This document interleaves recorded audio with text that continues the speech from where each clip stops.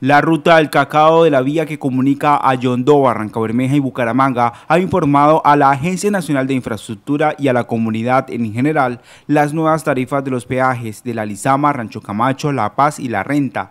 Las tarifas quedarían de la siguiente manera. La Lizama en 16 mil pesos, La Paz 21 mil pesos, La Renta 17 mil 400 pesos, Rancho Camacho 16 mil 400 pesos. Sin embargo, la comunidad se siente preocupada por la actualización de la tabla de las tarifas de los peajes de esta importante vía, así lo señaló Seferino Garay, líder social. Con gran preocupación vemos eh, un documento que está ya circulando, donde quiere la ruta del cacao en cabeza de la ANI también socializar las nuevas tarifas. Nuevas tarifas del tema de peajes.